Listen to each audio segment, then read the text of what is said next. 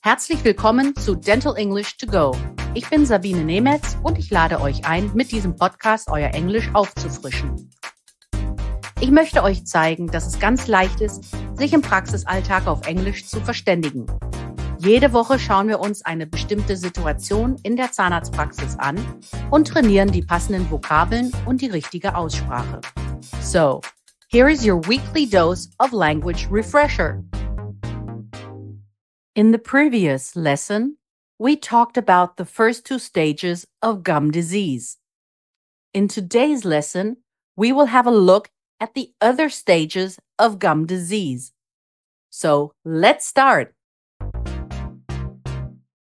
When patients think of oral care and dentistry, the focus is often mainly on teeth. But gums play an equally important supporting role. This becomes especially obvious when gum disease is advanced. Wenn Patienten an Mundhygiene und Zahnmedizin denken, liegt ihr Augenmerk häufig hauptsächlich auf den Zähnen. Zahnfleisch spielt dabei eine genauso wichtige Rolle. Dies zeigt sich besonders, wenn die Zahnfleischerkrankung fortschreitet. Next, we will talk about the next three stages of gum disease and how to explain them to your patient. Stage 3 is an early periodontitis. In this stage, gum inflammation extends beyond the surface. The bacteria have succeeded in getting underneath the gums and thus reaching the supporting bone the jawbone starts to get damaged. The gums may slowly pull away from the teeth and form pockets. Plaque and bacteria fill the gum pockets, therefore damaging the teeth and bone even more. You will notice more bleeding persistent bad breath, and maybe discomfort and pain. Action is required at this stage, such as good dental hygiene, regular dental checkups, and deep cleaning procedures. Stage 4 is a moderate periodontitis. In this stage, there is a significant progression of gum disease. The inflammation and infection that have slowly started have now gained momentum. Noticeable damage is caused to the bone supporting your teeth. The bone loss is more distinct leading to increased pocket depth between gums and teeth. Bacteria really love these deep pockets. Deeper pockets mean more bacteria. Your teeth may start to slightly loosen. Sometimes they might even shift a little bit due to the weakening bone structure. The signs are more apparent in comparison to the previous stage of an early periodontitis. Gum recession, constant bad breath, and potential pus formation near the affected area occur. Besides deep cleaning procedures, localized antibiotic treatments or other periodontal procedures will have to be considered. Stage 5 is advanced periodontitis.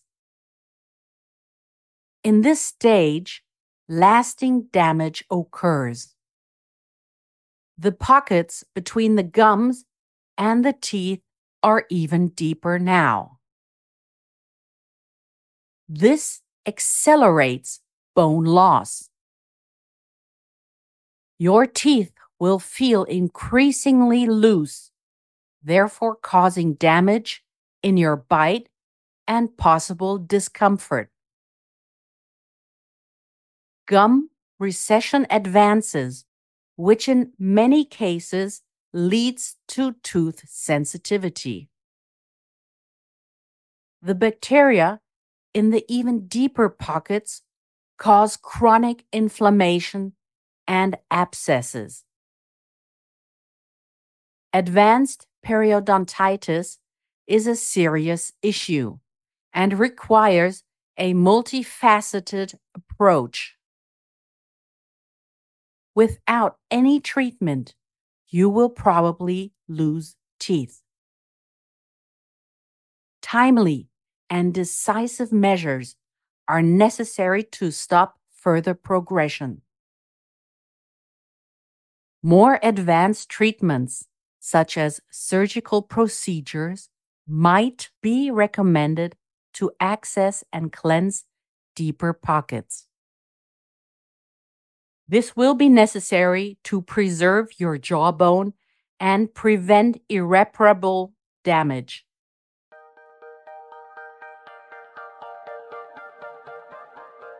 Here is your overview of the vocabulary of this week's lesson.